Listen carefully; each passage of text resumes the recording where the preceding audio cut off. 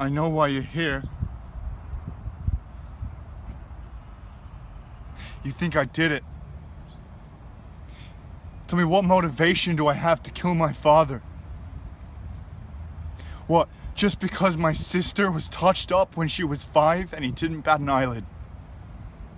Or how when she was raped at 13, all he said was for her to stop dressing so provocatively? You know, everyone says she'd be right.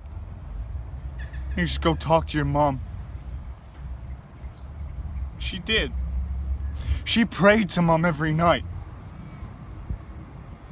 You know the last time I saw my sister alive? She was getting ready to go talk to dad. To try and work things out. And get past all the trauma that she'd endured.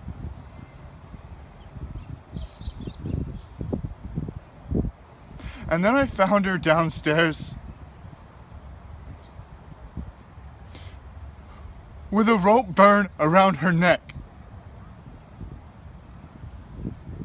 No, we can't always get what we want, can we, sir?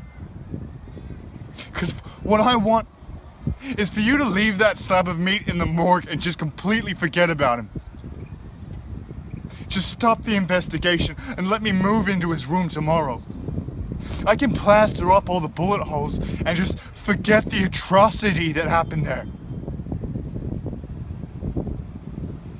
You know, when was the last time you were beat with a belt?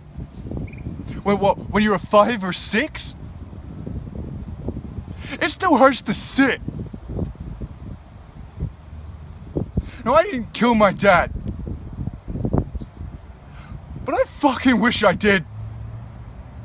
So when you find the guy that actually did do it, detective, you can give him my thanks. And you and you can let him know that Robin she can rest in peace now.